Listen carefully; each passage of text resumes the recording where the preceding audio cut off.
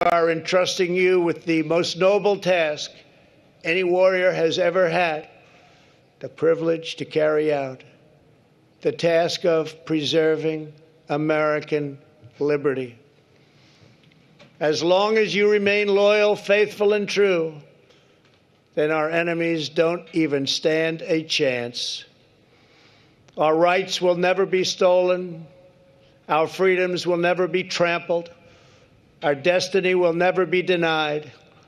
And the United States of America will never be defeated. The president charging those 1,100 new graduates, cadets, now second lieutenants, uh, is give them their, giving them their mission, which is to preserve liberty. Quite something. I want to bring in now Sarah Sanders, Fox News contributor and former White House press secretary, to find out. Sarah, it was quite a moment. What do you make of the president's address? Good morning. I, you know, I thought the president did a great job uh, calling out the evils of racism and also talking about the country coming together and reminding so many people what America is all about and that some of those individuals sitting in that crowd represent the very best of America.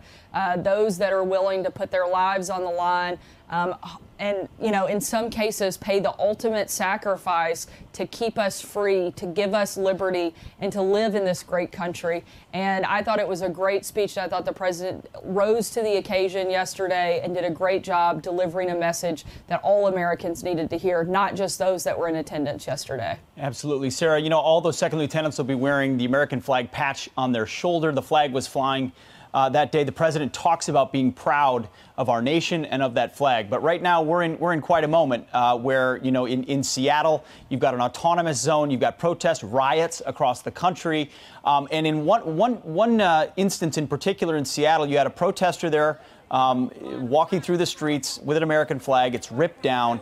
You know, we've heard about tearing down statues, renaming bases. Um, but it all seems to come back to the, the flag. What is it about the flag to the left, to the haters of the president, um, that, that make them reject it so much? That's a question you'll have to ask them because I, I couldn't understand that, and I can't fathom people um, out there saying that they all support freedom and liberty and justice because to me that's exactly what the American flag stands for. And the fact that those individuals wanted to go and rip it from another American's hands um, when the whole idea is coming together as a country, loving one another, I think that we saw on full display exactly what they really want. They really only want people that think like they do, yes. talk like they do, and sound like they do. They love the idea of people coming together as long as they come together with the exact same ideas that they have, which is the opposite of what America is all about. That is the beauty of this country is that we can have different opinions, different ideas, and that we can come together and still live in this great country. And the idea that those individuals wanted to rip that flag from another person's hands um, I, I, think took away from the message that the point of the protests are supposed to be about. And I think that we've seen a lot of these peaceful protests take place across the country, and they have brought awareness and brought a lot of things to the forefront for us to have an important conversation. But what we're seeing in Seattle is not that at all. Yeah, you know, Sarah, one of the things that has been brought to the forefront is uh, the problem that exists with a lot of this local political leadership that just hasn't done their job. We've seen that in Seattle and elsewhere. In particular, though, with Seattle, this is a tweet from the mayor, from Jenny Durkan Seattle is fine. Don't be so afraid of democracy. Now, to say Seattle is fine is utterly absurd if you see what's going on with this autonomous zone, but it also exists in contrast to the police chief Carmen Best, who said, listen, it's not fine. We can't get in there. If there's someone who has an emergency and needs the police's assistance, we can't get to them in time. And that involves things that could be as bad as rape or murder or violence or theft or whatever it may be. So, what's going on with this local leadership?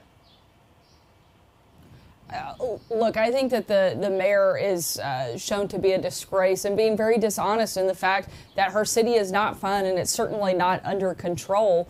Um, and it seems to be just pure chaos. I, I think people have a right to come out and peacefully protest. People have a right to be angry about what happened uh, to George Floyd, and people should be able to talk about that. They shouldn't be able to take over entire city blocks, shutting down businesses, shutting down police departments just because they don't like something. That's not how it's supposed to work, and she needs to take control and some ownership of her city.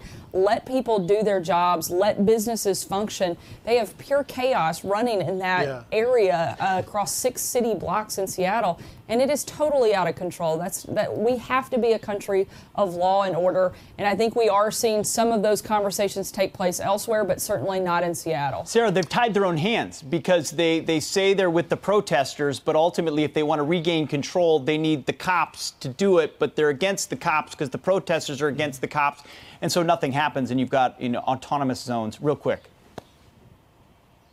And, and let's not forget that a lot of the police officers are African Americans. They're champ- they say that they champion Black Lives Matters, and a lot of those. Let's not forget David Dorn, a retired police captain in St. Louis who was killed during these protests. Um, if they really care about what is taking place, they will come together, they will have a conversation, and that mayor's got to take control of that city because what is happening right now um, should not be happening, and it is a disgrace to the real voices and the real movement of people that are trying to Yeah. see reform and make things better. That's a great point, Sarah. Yesterday I was talking about David Underwood, the Oakland Protective Service uh, police officer shot. Where's the outrage over that? Just in there. Sarah Sanders, thanks for joining Thank us you, this Sarah. morning.